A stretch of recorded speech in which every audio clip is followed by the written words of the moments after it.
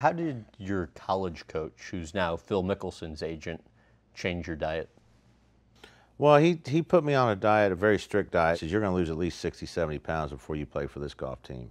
Is it true that It's Strictly Jack Daniels and popcorn. Jack Daniels and popcorn? That's all I did. I had a popcorn machine in my dorm, and I'd get me some Jack Daniels, and just that was my whole diet for like three or four straight months.